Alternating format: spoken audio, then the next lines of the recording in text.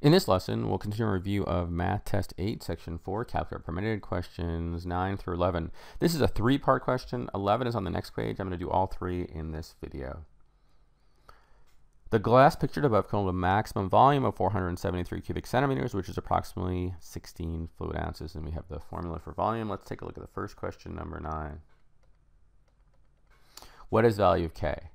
All right, so here's K and we're given the volume in the reference information 473 so we're just going to plug in 473 equals 7 times pi. We're going to solve for k.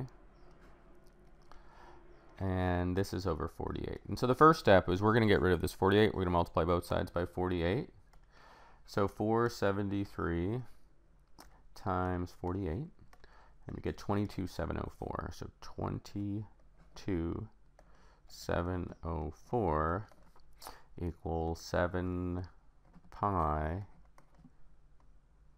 k cubed. 7 times pi, pi is just a little over 3. I know 7 times pi, I think is 22 or very close. So 7 times pi, yes, it's 21.9, and we're just going to call it 22. So 22 k cubed equals 22704. And now we're going to divide both sides by 22. So 22704 divided by 22. And we get k cubed is 1032. So k cubed is 1032. The last step is we just take the cube root and we can solve for k. And so here and cube root.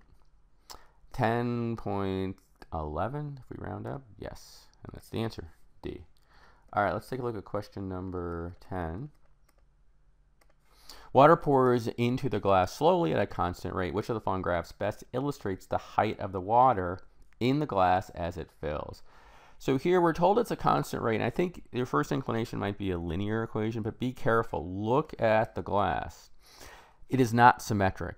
At the base, the diameter is smaller than at the height. So even though you're pouring at a constant rate, it's going to fill much faster.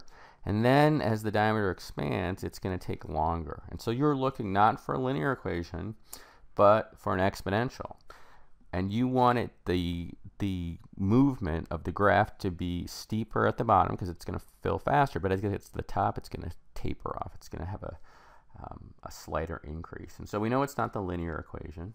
Let's take a look at all the choices. Definitely not this, which is just totally no slope. So which one is it?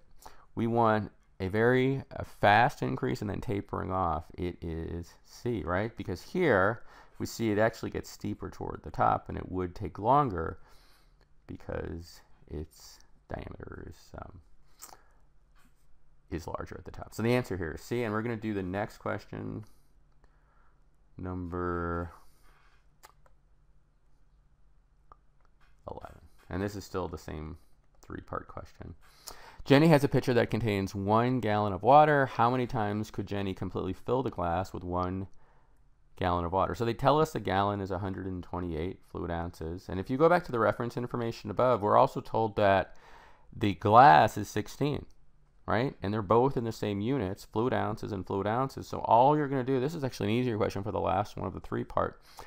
How many glasses could she um, fill, right, completely with the gallon of water? And so we're going to take 128 and divide it by 16. That's it. And the answer is 8.